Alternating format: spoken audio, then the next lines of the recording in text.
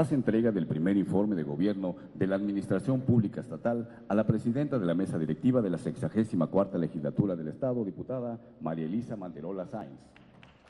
Muy distinguida diputada María Elisa Manterola Sáenz, presidenta de la mesa directiva del Honorable Congreso del Estado.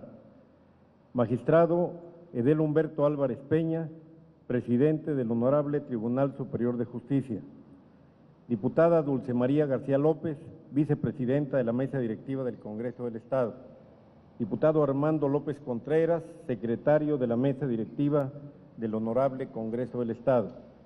Distinguida coordinadora y coordinadores de los grupos parlamentarios. Muy queridas diputadas, diputados, muy estimadas amigas, muy estimados amigos, querido pueblo de Veracruz. Hoy presenté ante el Congreso del Estado el informe de las actividades del Poder Ejecutivo durante el primer año de gobierno. Lo hago personalmente, en una ceremonia republicana, sobria y austera, como corresponde a los nuevos tiempos de Veracruz. Tiempos de auténtica división de poderes, en los que el Congreso ha pasado a ocupar el lugar que desde siempre le correspondía en la vida de Veracruz.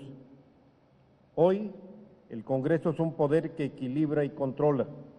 Su voz se escucha, sus decisiones cuentan. Esto es parte sustantiva del cambio que en un solo año hemos logrado los veracruzanos.